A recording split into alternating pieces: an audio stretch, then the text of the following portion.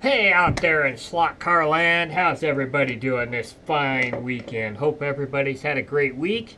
Um, hope you've been taking in the Barrett Jackson car auction this week. Um, it's Super Saturday. I've been watching a little bit of that this morning before I came down to shoot this video. And I'll probably go back watching some more uh, later tonight. Watch some of the big expensive cars cross the block. And uh, my and uh, there'll be some Supercross on tonight. Shaden's a really huge Supercross fan, so we'll be watching some Supercross tonight. So uh, today we're going to be doing a couple of things. Um, we're going to start laying the tape on our new paint project. This really cool NSX, Acura NSX. This comes from uh, Je uh, Jeff Hurley and his Hurricane uh, Hurricane Electronic Motorsports products. We're going to be talking about the layout a little bit, and we're going to talk about um, parts and pieces and where to get your parts and pieces. Um, I did this ways back. Uh, the first year we were on, the channel was up, I did this episode. I only mentioned three places. I've bought from a lot more places. I want to give these guys some props and some uh, acknowledgement out there for these guys to let you know um, where to go to get your parts and pieces and stuff. So first off, um, let's get this out. This is going to be a really old school paint job on this car. I don't have the decals as of yet, but um, we'll get those ordered here soon. Hopefully the government shutdown is not going to delay my income tax return. I hope not. Because if that happens, we won't be able to go to the fray, and I really, really need to go. I really, really want to go. So hopefully they get this all taken out and we get our tax returns on time this year so we can do what we need to do.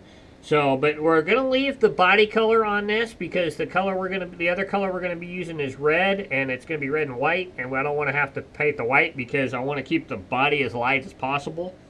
So we're just going to do the gray or just going to do the uh, red Going to do a primer, and then we're going to paint the red over it. So we're going to be putting the tape on this. This comes from a place I want to mention. This comes from, like I said before, this comes from Hurricane Electric Motorsports project uh, products. Um, this is Jeff Hur Hurley's um, business. He does um, T-Jet bodies for fray cars and whatnot. Matter of fact, they just came out with a brand new GT40 body and a brand new Lambo body. Uh, go check them out. They are on Facebook. Just, uh, just uh, they have a like page, so just look for Hurricane Electric Motorsports Products or Hemp, as he calls it for short, which I think is kind of funny. But uh, they do some really good bodies. This is a really detailed, as you can see, Acura body. I think he's still doing these. I think he still has a mold. He, matter of fact, made a new mold, so you can still get this body as well as that new GT40 and that new Lambo. So really cool car. So um, this is, like I said, this is going to be an old school paint job. I've already got some, a piece cut for the nose here.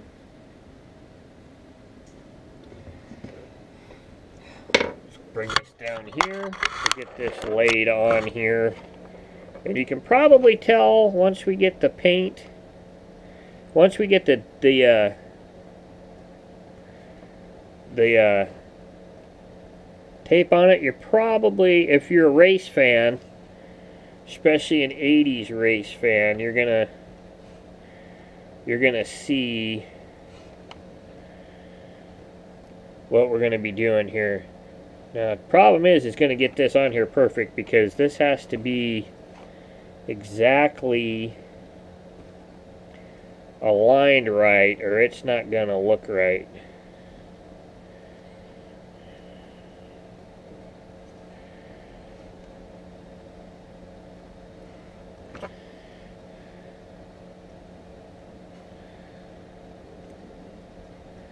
Might have to draw it down a little more.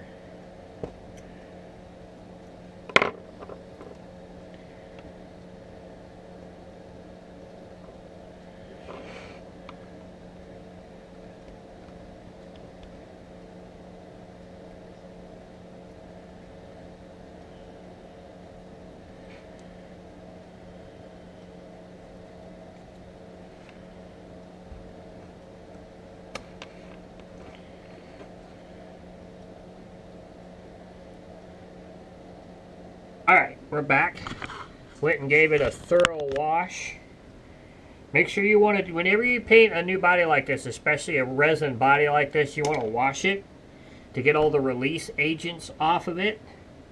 So if your tape or whatever you're doing, and even your paint, will stick um, properly to the plastic of the body so it's it's all good to go.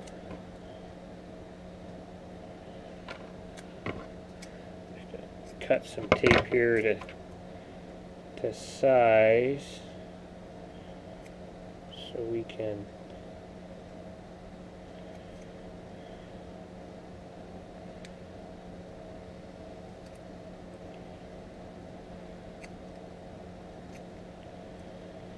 get the front of this covered.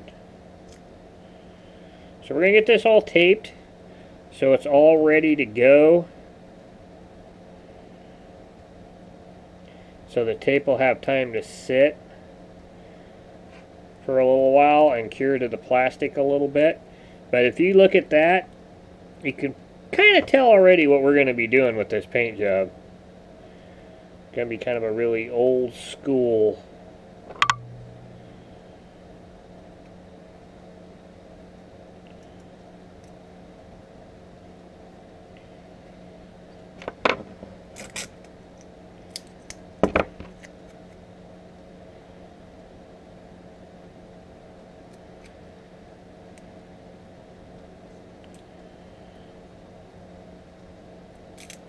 We're going to need to cut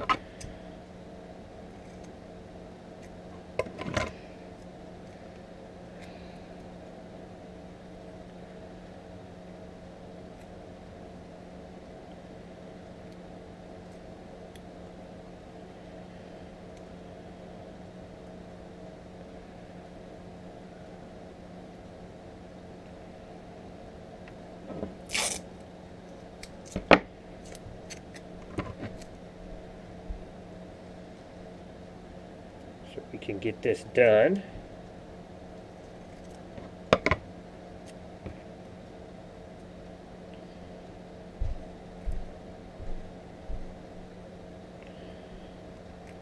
Try and make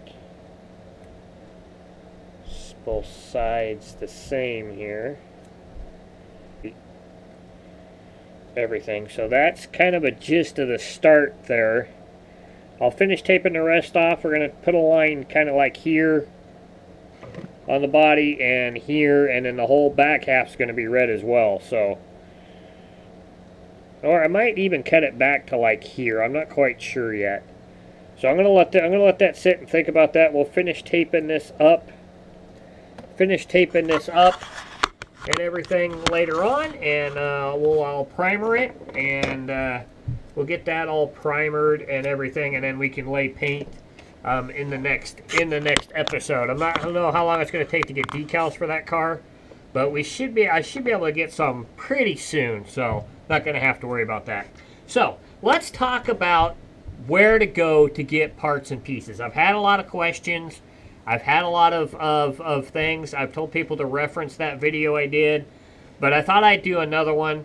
Um, there's I mentioned three places in that episode. HO, HOSlotCarRacing.com. I mentioned Road Race Replicas. And I mentioned uh, Resin Dudes. Now, as we all know, the man who was running Resin Dudes passed away. Uh, last, well, I think it was, it was either this year or last year. I can't quite remember when. So, and I do know that somebody actually took that over and started reproducing them.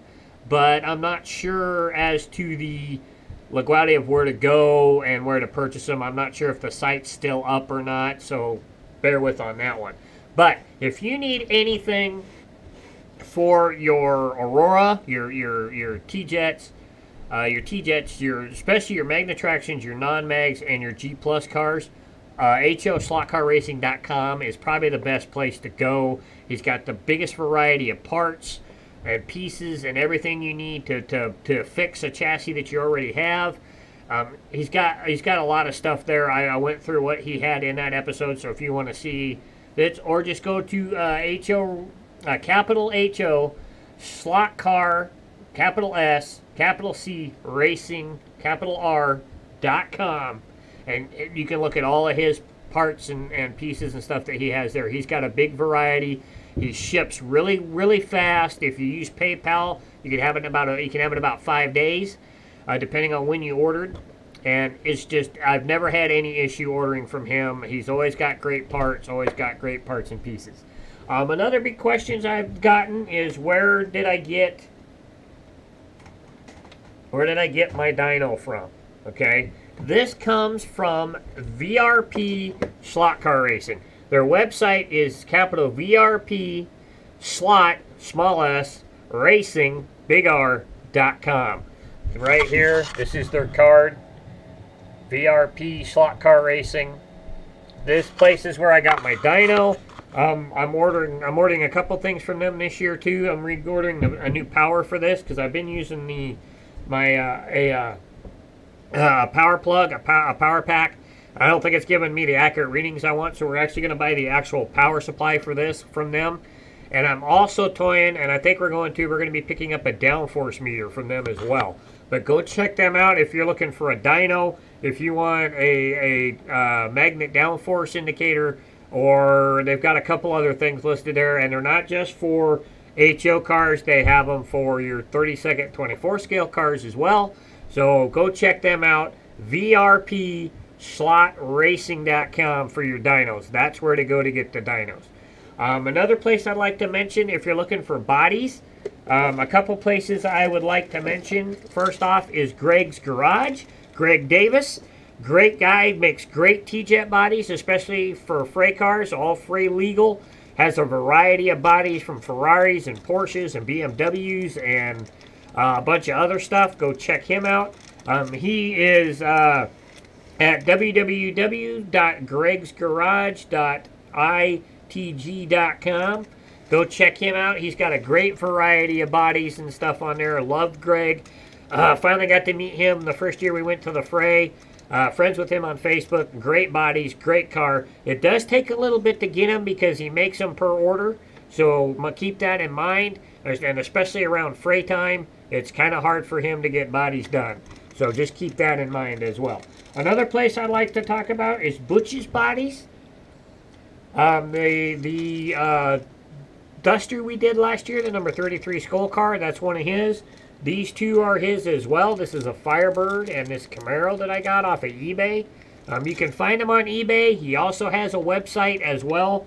Um, just go, uh, just check out butchesbodies.com. Great place to go for bodies. Great selection. Really cool cars. Really sweet looking cars. And that's that's another place to go for bodies. Another one, like I said before, Road Race Replica 3R. He's a good place to go as well. He's got some new stuff coming out. Um, he's also got stuff he sells on eBay, the painted bodies that he does. So be on the lookout for those as well on there. Um, a couple places I'd like to talk about for tools and also T-Jet parts. RTHO is another place to go um, if you're looking for tools uh, like uh, a um, gear press or your your uh, idler post widener tool or um, tire uh, wheel presses and stuff. RTHO is a very good place to go for that stuff. They've also got a great list of T-Jet parts as well. So go check out RT-HO Racing. Uh, what is the actual website here? RTHO. There it is. Yeah, it's rt-ho.com. Go check them out.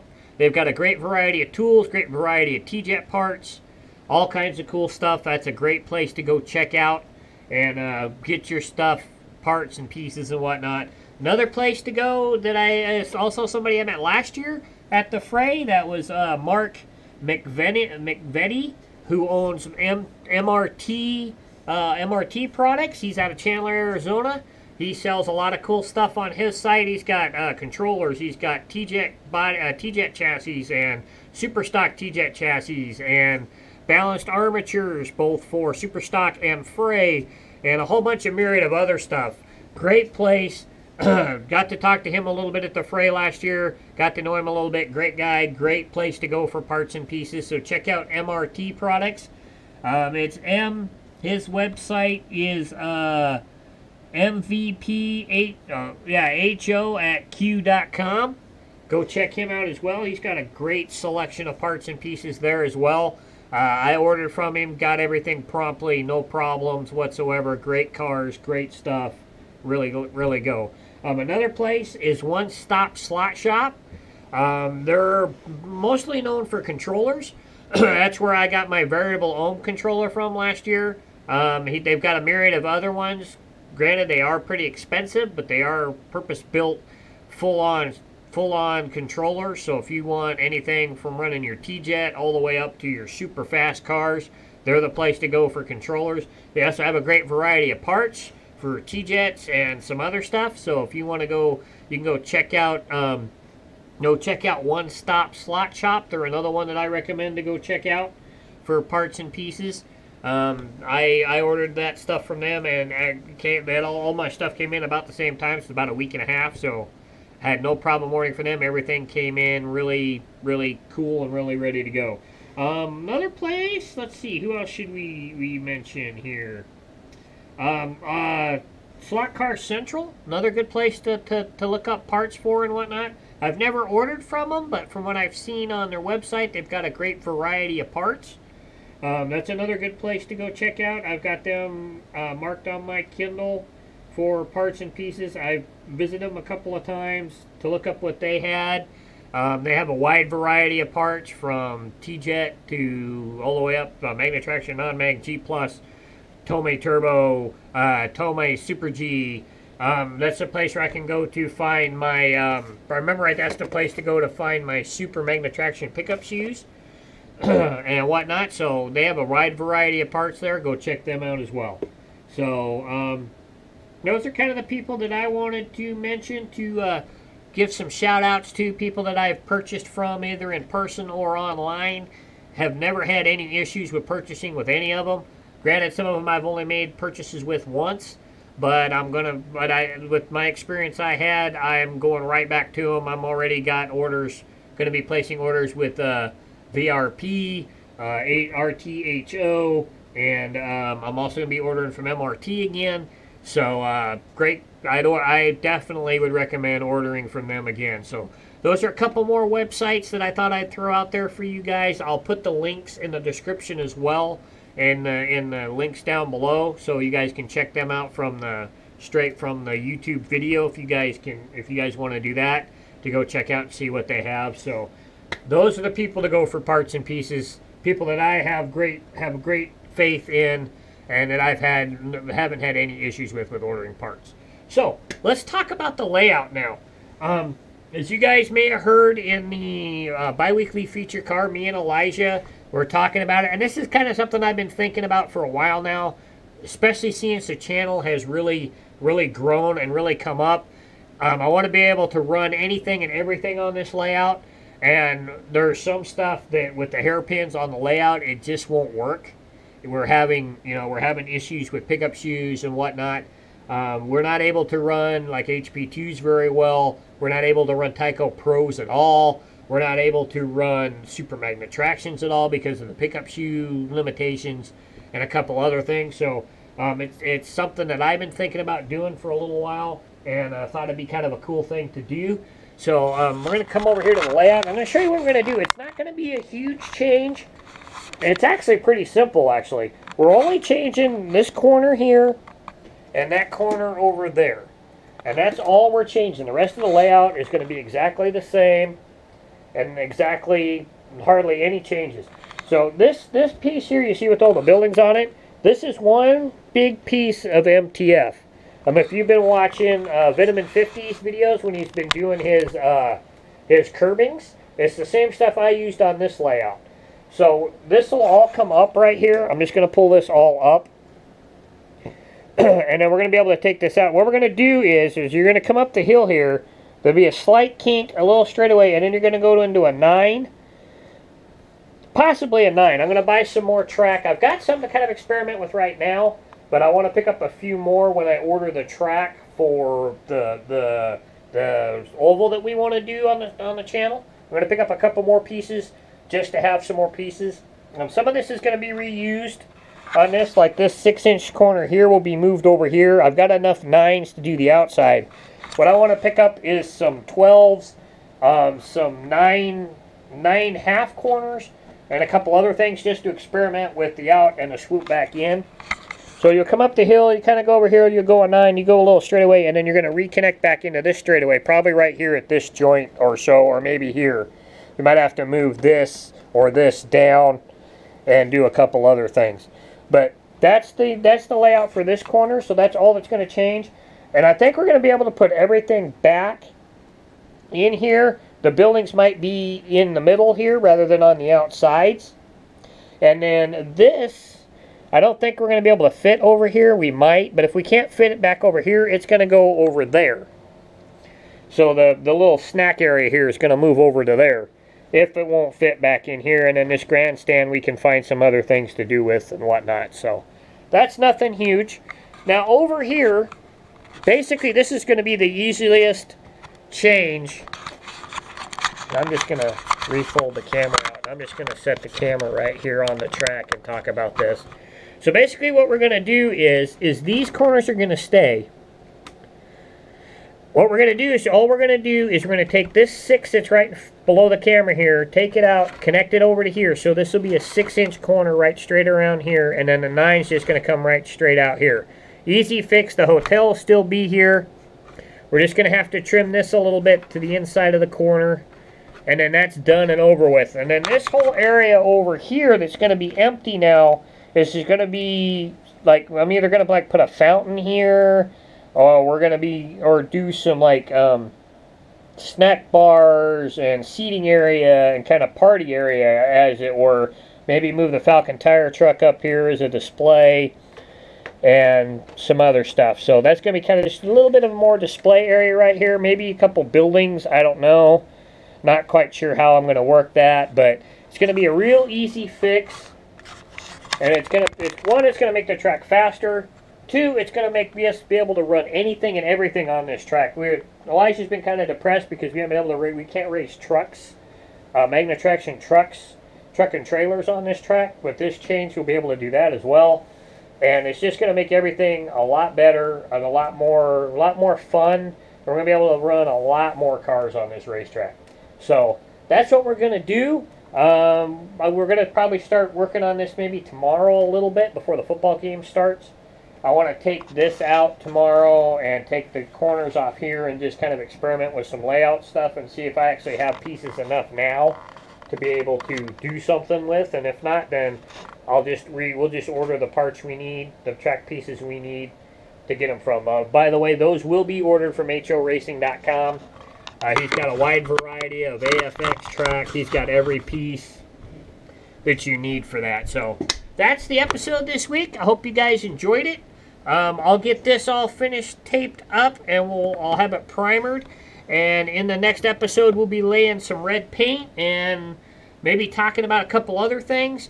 Uh, maybe we'll have, um, maybe we will have my income tax returned by then, and I'll let you guys know what we're picking up, or some other stuff. So, plus I need to clean this desk. This desk is a disaster.